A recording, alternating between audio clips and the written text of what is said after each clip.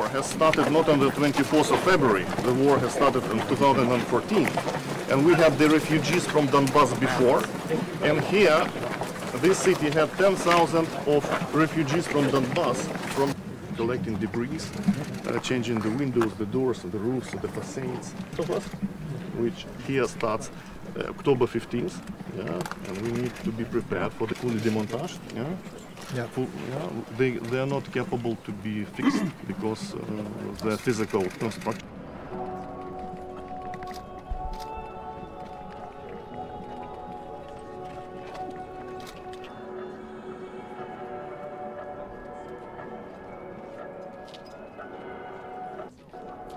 The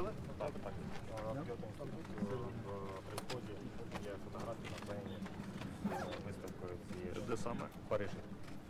There is, uh, I think it's, it's a special equipment. No, I think it's more garage equipment.